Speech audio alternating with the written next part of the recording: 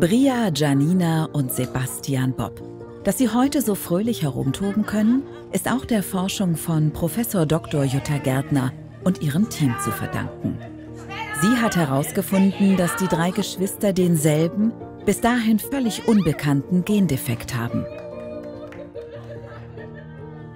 Ganz plötzlich bricht die extrem seltene Erkrankung aus, als Sebastian drei Jahre alt ist.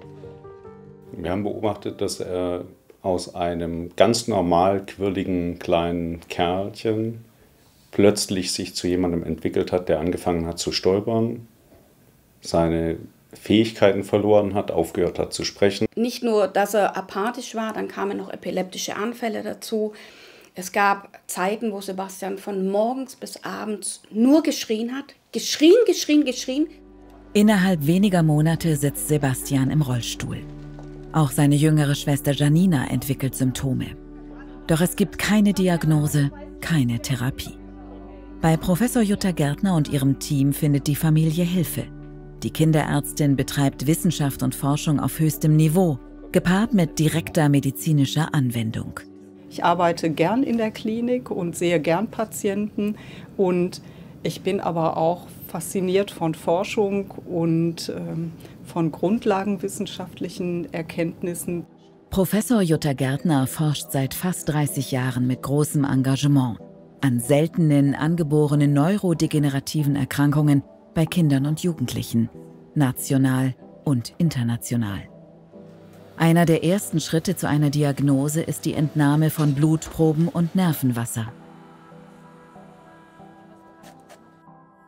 Sie ist in der Lage, bei unbekannten Erkrankungen die entscheidenden Punkte herauszufiltern, dafür diagnostische Möglichkeiten zu etablieren und dann aber, wenn man in die grundlagenwissenschaftliche Forschung dazu geht, die eben wieder ganz schnell zurückzubringen zu den Patienten, um entsprechende therapeutische Möglichkeiten zu bieten. Die Forscher analysieren und vergleichen die genetischen Daten mit denen tausender anderer Menschen. Schließlich gelingt es Professor Gärtner und ihrem Team, das Krankheitsgen erstmals zu identifizieren. Die Diagnose bei Familie Bob? Zerebrale Folatdefizienz. Dieser Gendefekt bewirkt, dass den Kindern im Gehirnwasser Folat fehlt, auch bekannt als Vitamin B9 oder Folsäure. Ja, wir haben eine Diagnose und ja, sie ist therapierbar. Ich glaube, die Besonderheit bei Frau Gärtner ist, ist, dass sie, wenn sie mit Patienten spricht, die Wahrheit sagt. Sie nimmt die Eltern mit auf die Reise, auf der wir uns selber befinden in diesem Moment dann. Universitätsprofessorin Dr. Jutta Gärtner. Seit 2002 Direktorin der Klinik für Kinder- und Jugendmedizin der Universitätsmedizin Göttingen. Studium in Brüssel und Hamburg, Forschung in den USA, Düsseldorf und Göttingen. Mehrfach mit Preisen ausgezeichnet, Wissenschaftlerin und praktizierende Kinderärztin. Ich bewundere an Jutta Gärtner, dass sie schaut, was haben wir schon in der Medizin, dass sie Synergieeffekte zu nutzen versteht und dieser Pragmatismus und diese Akribie in der Forschungsrecherche, die haben mich einfach überzeugt. Als Ausgleich zur Forschung braucht Jutta Gärtner Natur und Musik. Und einmal im Jahr einen Fünf- oder Sechstausender, ob im Himalaya oder in den Anden. Berge sind wie Forschung eine große Herausforderung, sind ein Ziel und die Belohnung ist eben nicht das neue Krankheitsgehen, sondern die tollen Blicke und die Freiheit, die man oben auf dem Gipfel hat. Außergewöhnliches zeigt Professor Gärtner auch in der Vielzahl der seltenen Erkrankungen bei Kindern, die sie erforscht. Dazu gehören etwa Multiple Sklerose oder AHC, eine Halbseitenlähmung.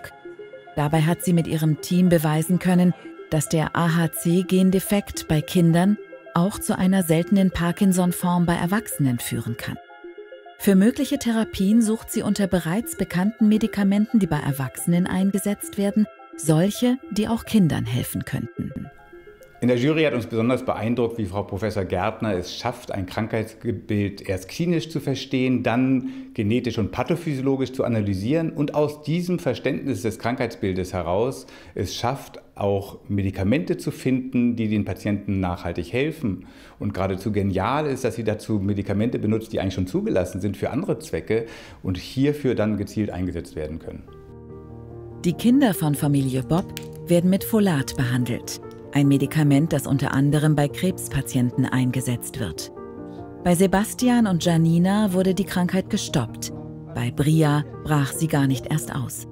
Sie hat Rückschläge hingenommen, was jedem Wissenschaftler passiert, aber sie ist nie von dem Weg abgewichen und verfolgt dieses jetzt seit zwei Jahrzehnten kontinuierlich in ihrem wissenschaftlichen Weg.